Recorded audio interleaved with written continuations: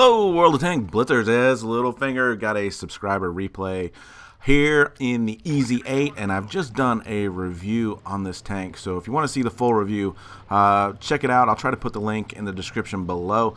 But um, this is Magic Hero in the bottom tier here on Mirage. And you can see they have uh, crested the railroad tracks, and um, they've got a couple guys down here in the water. He's going to do a real nice job here of uh, getting to the flatter area so he doesn't have any gun depression issues. Takes a first shot in on that VK31OP and gets his attention. Now, don't like the fact here that he also takes a shot on the Chiri. I would have uh, liked to have gotten that second shot in on the VK. Um, you know, just because he was already starting to turn and charge and uh, gets him on fire there, and they do finish him off, and he only took one shot, which is pretty good. But the Chiri now is turned this way and looking, gets one good shot in there, and uh, he's got some bad drivers behind him, which turns out to be uh, a little bit annoying because he's coming in for the kill shot here, and as he does, he gets rammed from behind, and that shot goes into the um, the gun there, and he doesn't do any damage. It just bounces. So um, really good here on the map awareness, seeing these three tanks pushing, four tanks pushing from the opposite side and turning around and getting his gun immediately into the game here. Um, you see the other tanks went down through the river and they're still, you know, driving, getting around to getting shots in. So it helped stop the push here a good bit.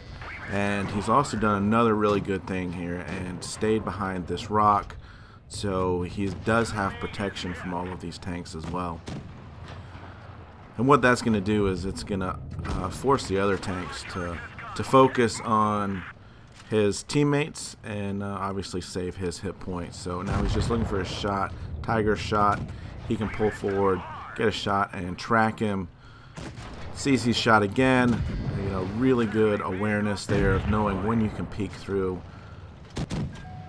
Takes a shot on the Dracula, slows him down there. Drax obviously coming in for the kill.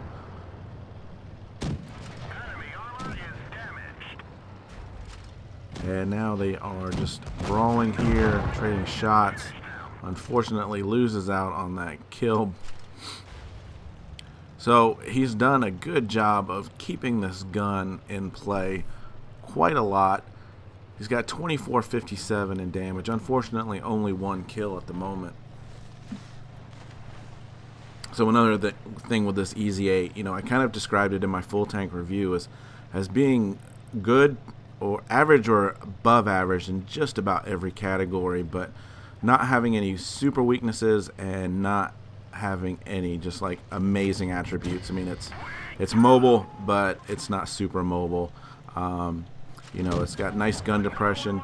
Uh, it doesn't have a really, really high DPM here, and you can see he's done a great job getting behind the T21, putting some HE shots into the rear here.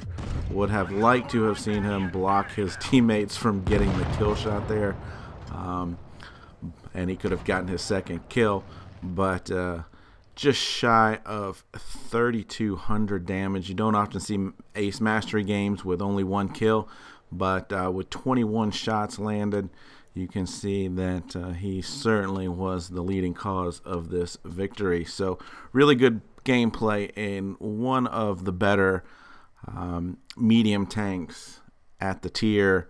So, as always, check out my full tank review below. Um, have fun out there, guys. Just a game and get educated, not fingered. Little finger out.